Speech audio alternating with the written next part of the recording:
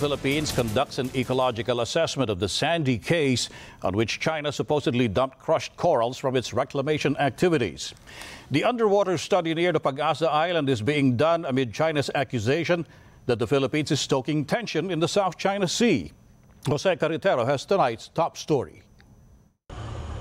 The Philippine Fisheries Department, together with the Philippine Coast Guard, kicked off Thursday their two-day joint maritime resource assessment in Sandy Cay in Pag-asa Island, Palawan.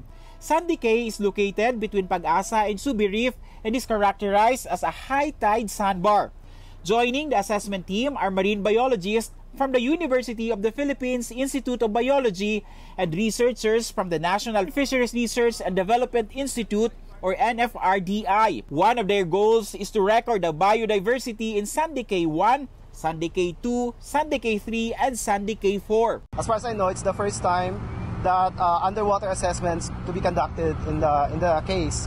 So, uh, and the expected objectives will be uh, from the biological perspective and the research perspective will be to find out what sort of corals, uh, fish, invertebrates can be found, what reef biodiversity are found underwater and what are the status of this biodiversity uh, to date. The group will also study the water quality in the area, including a visual census of fish and other marine resources. Some water parameter will be measured. Uh, basic water parameter will be measured. Uh, then the, there is a fish visual census, so there will be a, a, census of all the fish. There will be a coral assessment, so the uh, photograph of all corals and uh, what we call benthic uh, organisms, organisms that live on the, the ground, the, bo- the bottom. So yeah, so there will be a, a part, there will be part of that um, assessment on the water quality. The group will also look into possible presence of unnatural dead corals. Commodore J. Tariela, the spokesperson for the West Philippine Sea, has refused to comment if another purpose of the research is to validate suspicions of China's reclamation activities in Sandy Cay. Last year, reports surfaced that crushed corals are being dumped there. We always rely with science. No? Uh, we don't want to give speculative statements to the public. That's why we need the assistance of our marine scientists from the University of the Philippines before we come out with such assertion. Tarriela adds the mission is anchored on ensuring food security in the entire West Philippine Sea. The Philippine Coast Guard and the Bureau of Fisheries and Aquatic Resources uh, was tapped by uh, the National Task Force to uh, ensure that our food security is not compromised in the entire West Philippine Sea. And for us to have a much more better appreciation and right uh, evaluation of the aquatic resources, we have to rely on science to do that.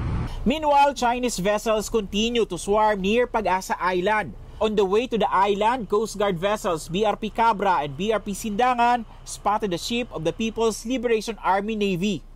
Two Chinese Coast Guard vessels also shadowed the Philippine vessels, but unlike previous encounters, the Chinese Coast Guard did not go near the Philippine vessels. Meanwhile, Beijing again fired a verbal salvo accusing Manila of escalating tensions in the South China Sea by spreading disinformation to mislead the international community's perception of their maritime dispute. China's foreign ministry made this remark after President Marcos denied the Philippines is provoking a conflict by asserting its sovereignty in disputed waters. Despite this, China maintains it remains open to dialogue with concerned parties to settle disputes. However, despite souring diplomatic relations, Beijing's envoy to Manila highlights the strong trade relations between the two sides. According to Ambassador Huang Xilian, China continues to be the Philippines' largest trading partner, exchanging $40 billion worth of goods last year.